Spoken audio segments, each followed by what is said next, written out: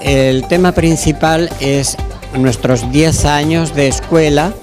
y recordar por lo tanto un poco lo que es los fundamentos de nuestra escuela en cuanto a la teoría, el objetivo que pretendemos. Estamos desde el 7 al 11 con actividades conmemorativas de nuestro décimo aniversario, sin embargo va a ser durante los próximos 12 meses que tendremos actividades. Esto significa que los estudiantes van a estar trabajando en voluntariado hacia la comunidad, también implica que vamos a tener eh, un inicio de año académico con conferencistas invitados en torno a la temática, eh, programa de radio, inserto en el diario, pero lo más importante de todo es el trabajo que se hace con la comunidad, por ejemplo, desde nuestro centro psicosocial. Como conversatorio es más bien algo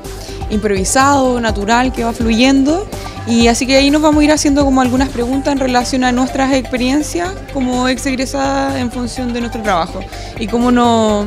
va marcando el sello de la Escuela de Psicología. Yo creo que eso es lo más importante como dejar en claro que cómo nos va marcando el sello de, esta escuela, a diferencia de otras. Hago una valoración muy positiva de nuestra escuela en estos 10 años que lleva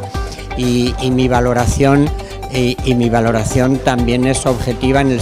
puesto que basta con ver la acreditación que tenemos en tan poco tiempo y el prestigio que tenemos y la cantidad de, participación que hemos tenido y tenemos hasta ahora en tantos congresos, encuentros, revistas científicas, en fin, es eso, aparte de lo de abuelo que se entusiasma por el nieto, podemos ver también en estos hechos objetivos.